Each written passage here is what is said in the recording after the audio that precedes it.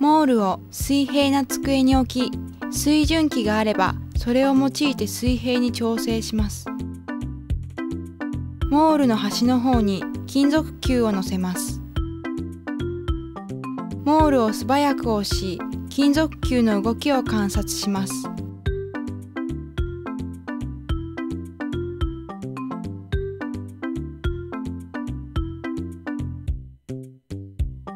モールの真ん中あたりに金属球を乗せます。モールをゆっくり加速した後止めて金属球の動きを観察します。